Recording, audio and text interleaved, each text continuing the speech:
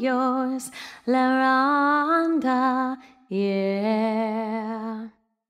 One happy birthday dot com.